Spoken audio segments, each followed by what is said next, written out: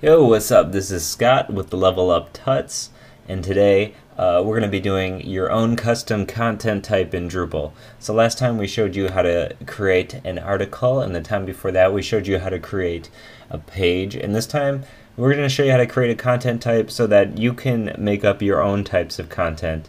And this can be extremely useful. Since this is going to be my portfolio site, um, um, I'm going to have different projects I'm going to import in here. And these projects are going to have all sorts of stuff from images to video links. Um, and it's going to have to take some different types of media.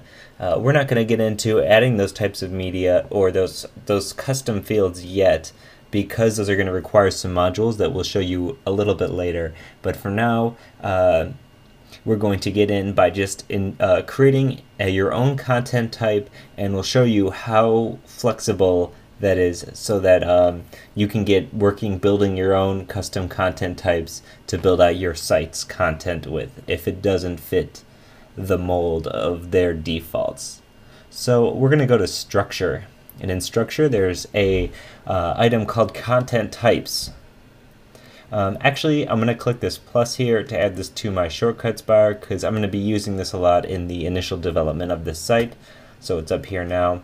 And as you'll see, here's your article and basic page. We can actually modify article or basic page by adding some fields or editing them. However, for now, it's just going to be easier to show you how to start from the beginning. So to get started, we'll click add content type. We're going to call this project um, my projects. So this description doesn't really show up anywhere other than in the administrative section. It's nice if you're building this site for clients and you have a bunch of different content types. Let's say they have a news posting um, and you know there's news or or events or something like that and you want to give them even more clarification besides just what the name is, uh, what its function is on the site. So here, you know, that's where you add your description.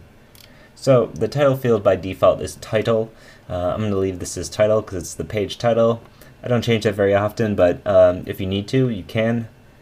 Um, I'm going to leave preview before submitting as optional because, um, you know, if I want it, uh, you know, it's there, and if I don't, I don't have to use it. Okay, um, next we're going to go to publishing options.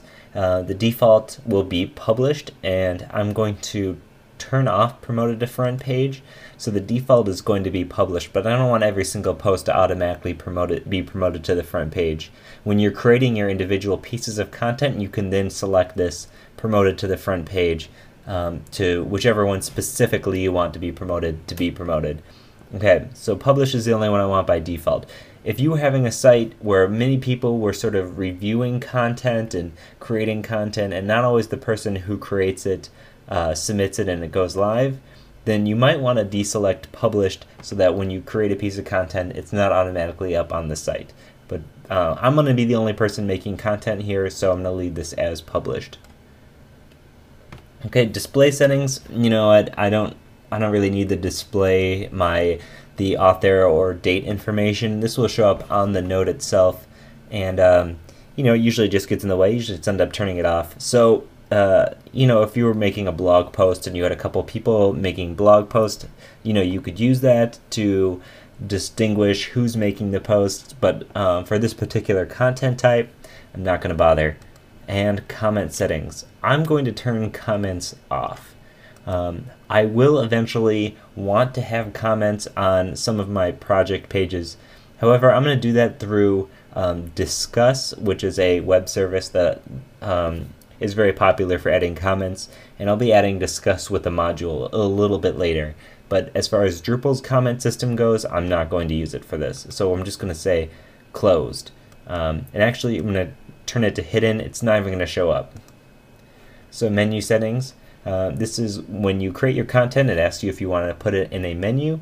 Um, these things are not going to go in any menu in particular, so I'm just not going to have any available menus for now. Eventually um, maybe you want to do like a sitemap or something I can put in that. Um, actually, we will select main menu because they're going to go under projects um, and I'm just not going to display them in the projects menu anywhere necessarily but as far as page structure goes they're going to live under the main menu projects so we'll leave that I guess And now we're going to um, save and add fields because without adding fields, it's pretty much the same as a page. So if you next stop is this manage fields.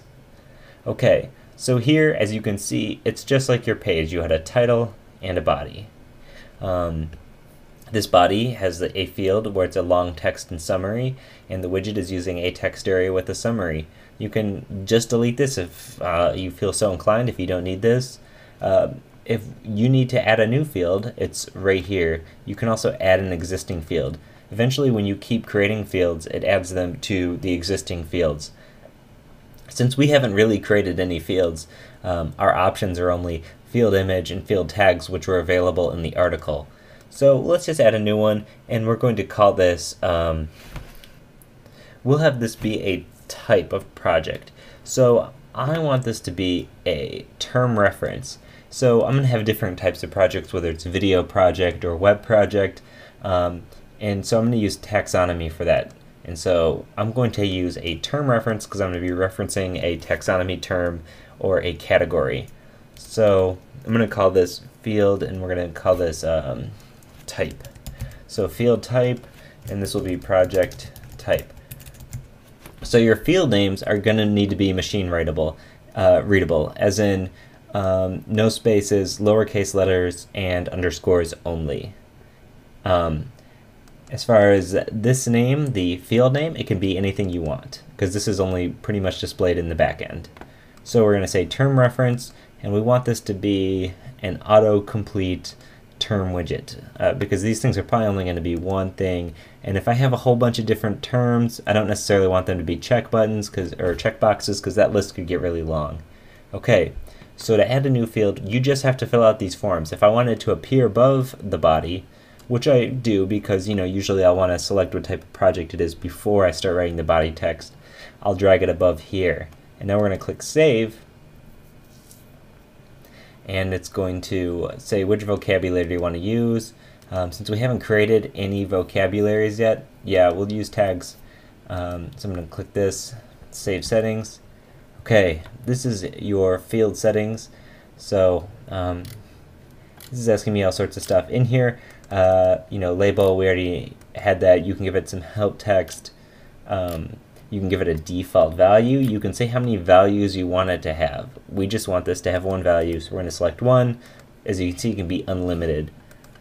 Um, and this is where you can also select what vocabulary it's using. So we're selecting tags, and we're going to save this. Okay, so now we have our content type.